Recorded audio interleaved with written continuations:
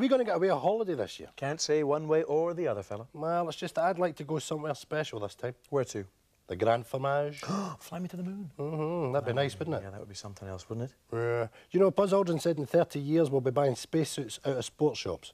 Would that be a good thing? Well, I think it would. Wouldn't you like to go? I'd love to go. It's just that every year on these holiday programs, they always go, "Ooh, you don't want to go there anymore. You want to go here." Yeah, Cuba's passe. Ah, Vietnam's the place. Vietnam's the new black. You know, and then the moon ends up like, uh, you know, Blackpool. Blackpool. Yeah, Yeah. Everybody's there. Mm-hmm. You bump it into your neighbours on Lunar Avenue. That's right. And they're saying to you, "Have you been on the Big Dipper yet?" Uh, we went down to the Sea of Tranquility. There's no water in it. Taking videos of it and sending them to Anne Robinson back on Earth. Aye. Plus, it takes you three months to get there. Maybe we're just as well with Greece and Spain and all those kind of places. Places we know. Aye, they've got the right attitude there, you see. Ah, the laid-back attitude. The manana attitude. I like all that. Yeah, it'd be great if Scotland was like that, wouldn't it? Oh, aye, that take it easy attitude. Mm. At George Square in Glasgow, for example, or the middle of Edinburgh, you know, sitting there drinking cappuccinos, not caring a fig about what's happening. Pernods one after the other, talking about this and that, nice and Ah, easy. But like the Latins, you see, we're argumentative. We get into brawls and things like that. Maybe we'd be too tired to fight, though. Well, we may well be, aye. So, what's the scenario? A couple of tumblers get down on the floor, the barman goes crazy and then says, You, outside, tomorrow. Well, Jack and Victor have been working with our two teams of decorators all day, so now it's time to have a look and see what changes they've made to each other's living rooms. In you come, Jack. Keep your eyes closed. Okay. Why? Where's Victor? I'm here, Jack. Right, Jack, open your eyes. Oh, Eh? Oh my, that's fantastic. Is this the same room? It certainly is. What do you think? What do you think? I think it's absolutely amazing. Oh, the job you've done right enough, eh? What do you think of your new fireplace? What's that? Ah, see what we done there, Jack. You see, is we pulled out the grill there. You see, stripped it down and put in one of the eleven flame jobs you like. Oh, see you. Aye, he knows I like the 11 flames. That I've always wanted. We've put all your medals and memorabilia in there, the copper frames there. Oh, that. I don't know what to say. Was that your idea? it was, aye, aye. Oh, that's lovely. Wait, wait a wee minute. Where, where, where's my record player, my telly, and that? Eh? What's happened to that? Ta-da! Just inside here, Jack. You open this up, and they're in this lovely mock walnut cabinet. That's absolutely marvellous. I don't know what to say. I'm, I'm, I'm, not, I'm close to tears, so I am. I, I'm not happy. That's beautiful. Thanks, Victor. Hey, bother, Jack. Well, now it's time to go over to Victor's to see what changes Jack has made. OK, Victor, are you ready? Aye. Open your eyes. Oh, I'm feared to, you know. Don't be bloody stupid, Victor. Open them up. oh, aye, it's, it's... It's the same. oh, nothing. Oh, come on now. There is a difference, eh? What difference? It's exactly the bloody same, Jack. You don't see what we've done. You've done hee-haw. Even tidied my digest. They're still lying all about, look. No, but that's the way you like them. I tried to tidy them up once before he went off your bloody heat, so you did. You said you like things the way they are. They're still stirring this sideboard here. Yeah, he has moved your wall unit there. Oh, is that it, eh? Move the wall unit. Well, whoop-de-doo.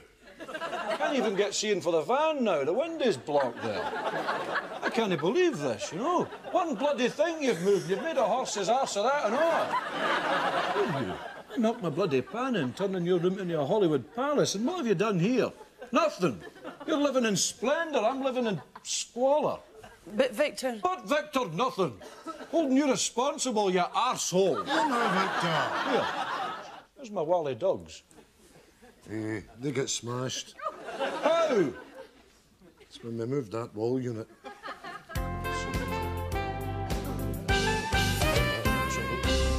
Mum, how come we have to live in the refuge? it's a long story, son. Aye, but how? Well, mm, how can I put this? Once upon a time in a faraway land. Nah, never mind, son. Ask me some other time. Please tell me the story. Well, one day when the cow wasn't looking, the dish ran away with the spoon. No, just forget it, son. I'll tell you another day. No, Mum, please tell me the story. Because your dad's a wank. Now, you get to sleep so you don't feel the beasties crawling over your face. Night, night, Mum. Night, son.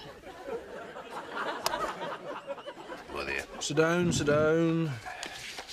What's your name? Eh, Ronald Villiers. And who are you with? Eh, come and Pump. Right, Ronald. Now, do you know what the parameters of the job are? Continuity. Parameters. Yeah, continuity. Continuity. Aye. Right. Aye, for, for BBC One and BBC Two. All right. Introducing the TV programmes that are coming on. That's right, Right. yeah, yeah. But your job's to come up with a wee snappy link to take us into the next show. Right. Right? You think you can do that? Well, I have to come up with that. yeah, Right. yeah. Just whatever you want, you know. Okay, Right, we'll try one out. We'll try. Right. Uh, What do you want it to be about then? Well, I'll give you the name of the show, right. and then you can. Jump the gun a wee bit, sorry. That's all right. You okay? I'm right. fine. Try can't cook, won't cook. Right. Can't. What tend to right. Eh, do you want to know how to make stuff? Can't cook, won't cook. Right, right. We'll try it again, right? Right. But this time maybe. Uh, was no use. It was no use. Right. No, just try it, but. Uh, Go for a wee bit more snappy, something like get your pen and paper and don your apron. It's time for can't cook, won't cook. Get your pen and paper and don your apron. It's time for can't cook, won't cook. That- that's what I just said to you. Though. know, I heard you. You just parroted me. You've Oh, got to make your own up. You Right. know, you've got to come up with your own one. Okay. Okay. Right. Right. Right, okay. Um, do, you, do you want to make omelettes? They're making omelettes on can't cook, won't cook. You can't be so spe- can't be so specific. You know, omelettes. All right. They're not always going to be making omelettes, are they, No, they don't. Can't cook, no, won't cook. You That's know. right. Maybe steak or beans or Could be anything, you know. So you can't. like you can just keep it vague, right? Try, try uh, Right. Neighbours. Yeah. Eh? You watch Neighbours? Right. Australian soap. I don't watch it. Well, you will be if you get the job, though, won't Oh, you? aye, Aye, obviously. that's I right. watch it all the time. Try again. Try Neighbours. Right, you right. Uh, it's made in Australia and it's on every week. Neighbours coming in the, just now. Right, right. Sorry. Um, maybe try something like, you know, um, will Helen get to the shops in time Right. and bouncers had a bad meal? Right. Yeah? Right. right.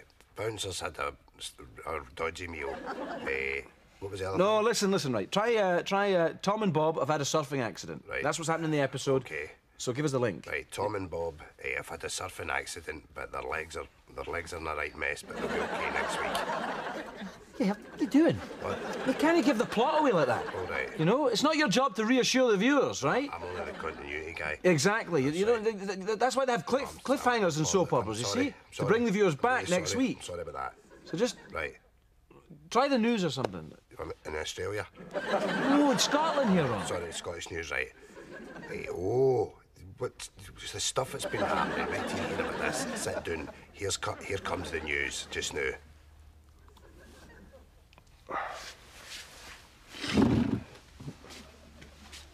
Hey, they're not making any omelettes in Labour. Gosh, you useless freak. Continuing our season of tartan briefs, set in the post-war Gorbals, a bleak, austere tale of tenement life. Lindsay's Lavvy. Keep your eyes shut. Shut. Keep them shut. I'll shut. Right. Yeah. You ready? Mm-hmm. Eyes shut. Come on. All right. Open your eyes. Oh, Alec, it's beautiful. A beautiful, beautiful lavvy. Oh, oh. Can we afford it? Tartan briefs. Don't worry, we don't understand them either. The landmark case of Brian Williamson versus the Dolson Electrical Appliances Company was delayed today after the sabotage of an in-court demonstration. Williamson, 24, is attempting to sue Dolson for what he alleges to be the provision of a dysfunctional microwave oven, citing a faulty timer switch. He complained in court that the appliance must be knackered, as it takes pure ages afore it goes ping. When heating, they we chip hangs. At the required setting, Williamson claimed the appliance failed to reach the end of its cycle. Dawson countered with a study stating that 80% of single men lose all sense of time when confronted by snack food in a microwave. Lord Justice Campbell then placed a packet of micro fries in the offending oven and the timer was set at two minutes. However, with the independent timekeeper's stopwatch reading only 90 seconds, Judge Campbell lost all patience and removed the chips. The case continues tomorrow when the jury will hear evidence concerning a king rib in a bap. Jeremy Black, Kirkcaldy Sheriff Court.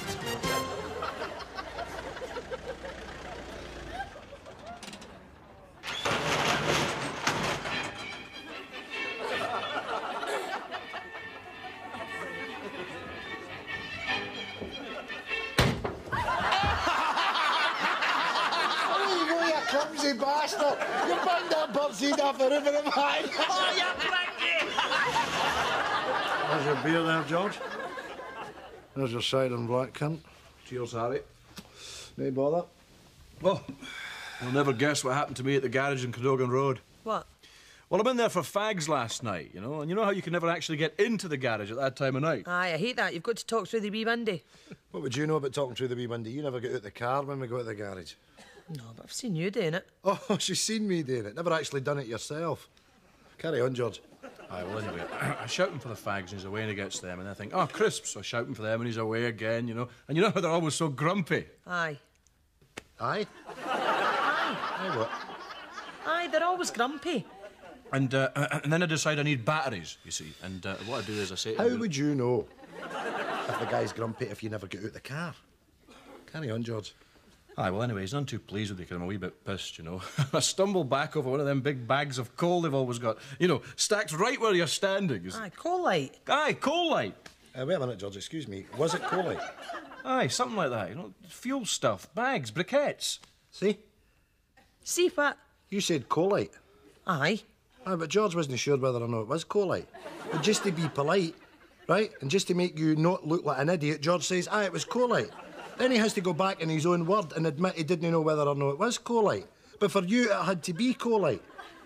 Now you've got me talking about it. Why don't you just shut up for two minutes and let the man finish his story? Carry on, George. Nothing, he got fed up with me. Wouldn't serve me, told me to get lost. Classic, George. Classic.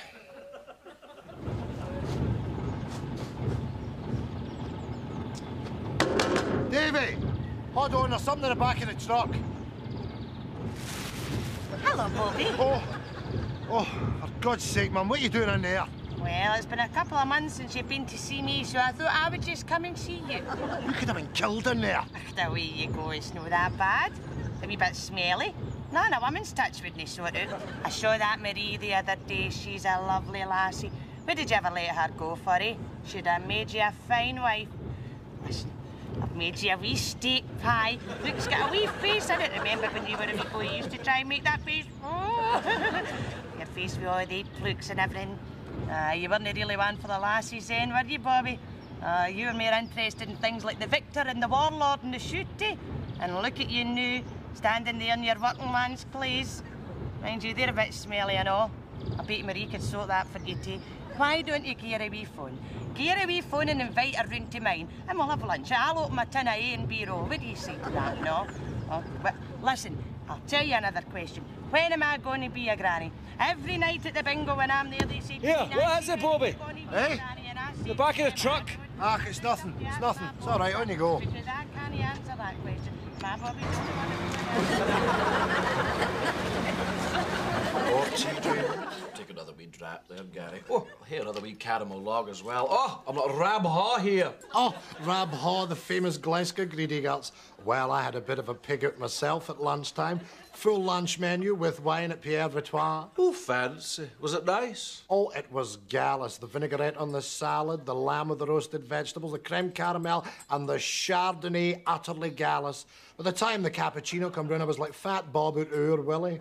Tell me now, Gary. Did you swallow the whole bottle of Chardonnay? Oh, heavens, no. I would have been steaming boats. No, just a half bottle. But anyway, on the way out, I couldn't resist a bit of the Glasgow banter. The waitress said to me, Will we see you again? I said, Not if I see you through the window. Oh, delightful. Hmm, well, she seemed to think so. I distinctly heard the reply, Aye, very good. Oh, The gallus Glasgow banter. Sir, you've got a bit of paper stuck to your shoe. Nice boy. Now, we've got a bit of a problem with this next thing, the uh, bottled beer Finbar. The sales are fine, it's just that the client wants to run a competition. And, um, you know, big prizes, that kind of thing. Yeah, well, that's going to be tricky. I mean, they've spent all this year's advertising budget already, and it's gone. Sorry to interrupt you, gentlemen. There's your tea. Just uh, bring it in, thanks, Agnes. Sorry, John, on you go. Well, we've had scratch cards, flyers, posters, beer mats, and of course, all the rest of it went on the TV ad campaign, so that's gone. Well, what are we going to do? Any ideas? Um. Um. Self-liquidating campaign. Sorry, were you, were you talking to us? Um, that's milk and one for you there, Mr Dixon. No, no. What did you say there? Um, a self-liquidating campaign where the revenue generated from the ad campaign pays for itself. How do you mean? Uh, excuse me? Uh, sorry, John, actually, excuse me. Agnes, go on. Well, Say, for instance, we're in a competition through premium rate phone numbers branded on the side of the product. What's it called again? Uh, Finbar Lightail. Aye, aye, Finbar. Calls cost 50 pence a minute. The ad agency's end of that's 25 pence a minute. So the money you've got there you can use to fund the printing of the labels and uh, any television promotions you need to kick off. Well, I was actually going to come up with a self-liquidating campaign because... Your ass! You're fired. Agnes, I love it. It's brilliant. Sit down, you've got a job effective immediately. John, Agnes is the new head of promotions. You're the tea lady. Right, what does everybody take then? Black coffee for me, please. Milk maybe half sugar for me, thanks. Now, uh, Agnes, the um, company's hoping to move down to the wharf later on in the year, and uh, it's going to cost us a million pounds. The bank is prepared to stump up 500,000. The directors are going to put up 250,000. Now, along the same lines as your self-liquidating campaign, no thanks. Any thoughts on how we could raise the final quarter mil? Oh, aye. Rice Krispie cakes. I'm sorry. You can buy them in Safeways, but you can make them a lot cheaper yourself. All you need to do is get Rice Krispies, big slabs of cooking chocolate, and you make up the cakes and you sell them at church fetes and jumble sales and that. Um, right, Agnes, um, get your penny back on. You're the tea lady again. John, give Agnes a penny back and sit down. Oh, that's poor. Tim, do you want a snowball? No, not for me. No. Hi, look, mate, I know you don't know me or anything, right, but I was just uh, passing there and I'm wondering, have I got donut in my face? Aye. Aye. Where? Here? No, the other side. O- other side? Aye. Here? How's that? Aye, sure. Cheers, mate. That's the thing about the manana attitude. What's that? Well, you get to have a siesta in the afternoon. Oh, they're lucky so-and-sos, aren't they? Yeah, they take three, maybe four hours in the afternoon. It means they can boogie on down all night. Freeze them up for the entire evening. Yeah. Yeah, you see, I get jealous of that manana thing. Yeah, so do I. It sickens my chicken. Sleep gets in the way for me, Ford. When I see places like Las Vegas and New York advertised and they say, come to the city that never sleeps, mm. I think that's no use to me, because I need to sleep, as does everybody. Yeah, that's the thing about Vegas and all these other kind of places. Mm. You get up at two o'clock in the morning and the place is exactly how you left it. How much do you need to sleep a day? Well, they say you sleep a third of your life, right? Mhm. You go the entire 75, you, leave, you, you live three score years and ten, so you Yeah. sleep a third of that away, gone completely on sleep. Wouldn't it be much better if you could sleep it all in a wanny? Do your whole third in a wanny. And then you can stay up for the whole rest of the time. Well, that'd be fabulous. Well, I'll tell you what then, if that was the choice, I'd sleep the first third. You'd sleep from zero to 25? Yeah. Well, that would be no good. How? Because then you'd be waking up 25, you can't read, you can't write, you can't speak like a big baby. Oh. Plus, you've got to get breastfed, which at 25 is uncool. Oh, it'd be a bit messy, aye, in front of your pals and stuff. Oh, Yeah. I'd choose the last section. Oh, I don't think that would work. Well, I'd say the first two sections, your bones are good, you've had the good first 50 years, and then boom, out you go. Yeah, but the thing is, you only live 75 years, so you mhm. sleep from your 50 to your 75, then you wake up only to find out you're dead. And you couldn't sleep in the middle section. How? Well, because you'd be on a date with some girl, and then bang, you fall asleep right in the middle of your date. How's this? 10 years on, 10 years off. No good. How? Well, what if you're having a career or something? Then you've got to disappear. You're out the frame for 10 years, your career's gone. You're washed up by the time you wake up. Nah, you've got a point there as hmm. well. A week on and a week off. A week asleep, a week awake. No good. Why? You couldn't follow the soaps. You'd be waking up and the soaps would be all out of sync. You wouldn't know what was happening. Well, and you wouldn't be doing anything except watching what you've taped. Exactly. Hmm. Smaller sections, I think, are the way forward. Yeah. Eight hours a day. Eight hours a day, every day. Yeah. Yeah, that would probably work. Yeah. Hmm. Ooh, feedback. What's warm in here? Boiling. Hello. Didn't notice you coming in there. Good afternoon, Janet. Have you met before? Come, come, you don't remember me. Well, you do seem familiar. Anyway, what can I get you? Have you any Paris bun? Yes. Have you any Empire biscuits? Yes. Eiffel cakes? I've placed you. You're the devil, aren't you?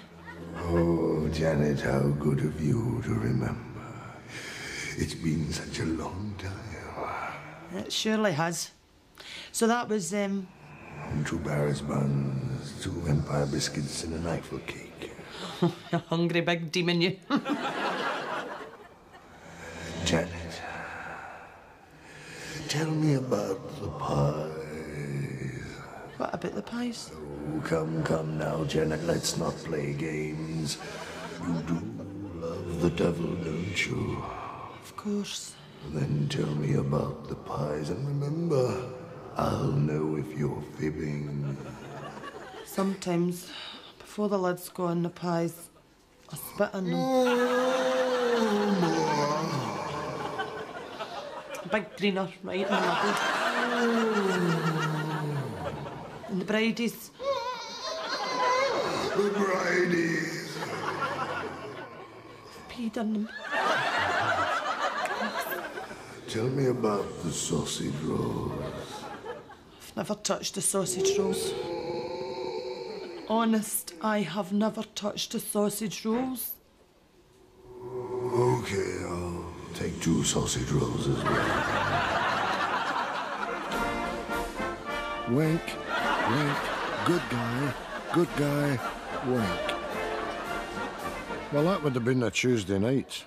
Tam rolls up in a navy blue Zephyr, I remember that. You see, it wasn't everybody that had a car in the days. Anyway, he shuts the door and walks up the close. The lads are there. Still kicking into Peter. That was an hour they'd been at it. But no, Peter didn't give up. Still breathing he was. And he was hardly stuffed, Peter, right enough. Well, I drag him out and sling him in the boot of the Zephyr. Close was covered in blood and guts, I remember that as well, because it was our Mary had to clean it, you know. She found an eye. Anyway, next thing we know, we're all in the car, you know, heading up to the quarry to dump poor Peter's body. Sammy's sitting in the back, he pipes up, he said, uh, Here, Tom, what are we going to do? He says, if uh, this body's discovered, that'll be us snookered, you know. Tom, quick as you like, right into the hip pocket, pulls out a pair of pliers. So when we get out up at the quarry, he's on top of Peter, snapping the teeth out, snippety, snip, snap, snip. Ah, he's double wide, Tom, right enough. No dental records, you see. Do you know to this day Tom's still got all the teeth in a wee leather pouch that he keeps round his belt? Ah, you can hear them jiggling about when he walks. Mm.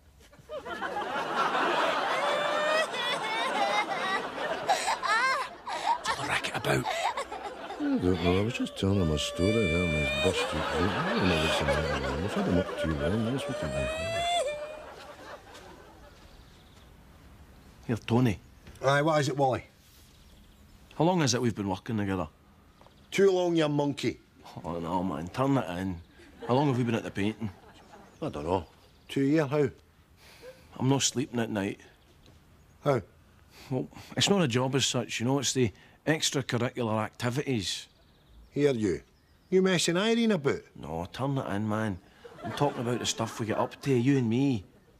What stuff? Painting? No, no painting, you know. Well, see, every time we're on a job, right, you always want to go rummaging. Rummaging's a perk, Wally. See, when you work for a big firm, Aye. right, well, they give you a car, right? A big rover, something like that, for nothing. It's one of the perks. Well, see, we don't get that. We get to rummage. See, see, see I, I don't think that's right. Look, Wally, it is a God-given right of a painter and decorator, when the occupier of the premises is absent, to go touring through wardrobes, cupboards, bathroom cabinets, under flare boards, behind pickable locked doors. It's just one of the unwritten rules, you know what I mean, man? One of the unwritten rules. I know that when you explain the terms and conditions of employment to me, Tony, but we've done every house we've ever worked in. And the problem is? I don't want to do it anymore. Look, Wally, if you give up that right, you'd be as well hanging up your roller. Does this get anything to do with the Shereen Nanjiani job? Aye. Can't stop thinking about it, Tony, you know. Ever since we found that sexy gear in our house, you know, I, I can't even watch the news now without imagining her. You know what I mean? Look, Wally, sit down. You're a young boy. I've been at this lark for 14 years. Every painter and decorator gets a guilties in their first TV job. Aye, right enough. You know who mine's was? Who? Lena Martell. Oh, no way, man. What'd you find in there? You do not want to know. Here, Tony. You know how we met, right? And you were painting my house? Aye. Well, did you rummage through my stuff? Oh, come on, Wally. Get a rest, as if that just would not happen. No! Oh, sorry, man. I didn't mean nothing there. I'm being stupid, you know. Anyway, no chance of me hanging up my roller, you know. I need the money. No, you don't. What? Well, your Auntie Margaret's going to leave you ten grand in her will. She wrote you a letter, sure. How do you know that, Tony? You tell me. No, I didn't. Aye, you did. No, I didn't. Aye, you did. No, I didn't. Was he here tonight, to know? Aye, some kid on film premiere. Aye. What is it, some poxy European initiative? Some Daily Record pish. Here, there's that arse off he take the high road. he's pish. What there's his wee pal out of thing with practice. Ah, he's rotten and all. Hear that bird off the news? She's rank. That Muriel Gray. She's on. Oh, I knew. How's it going, Blondie? Ah, she hasn't seen us. Aye, she did. Oh, there's that old tangent of Dr. Finlay. the size of his is deformed. I read for a part in this pish. I was up for a part of Danny. Oh, the alcoholic ex-boxer. Nah, the unemployed welder. Script was a turkey. I know. I read for Man in Car Park. Ah, well, the dates would have probably clashed with the Air United story anyway at the gatey, you know. See these monkeys? They just don't live in the real world. Ewan McGregor! Oh, Ewan! The work must be fair drying up for you in the States if you're showing face at this. Key!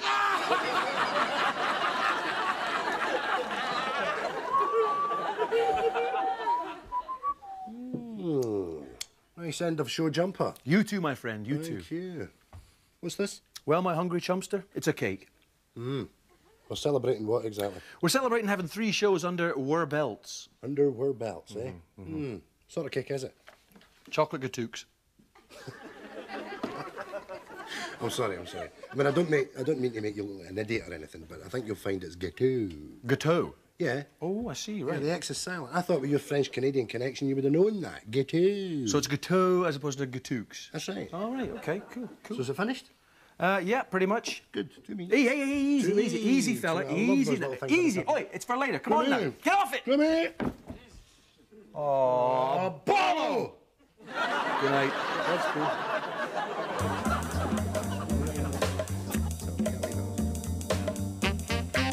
Look, could we please have our weapons back? We have to be in Fergus Street Park at one o'clock. Come on, take it off his in, you dauber, man. Aye, Come aye. on, Come on then, you walloper. Come ahead, man. Come ahead. Oi! Oi!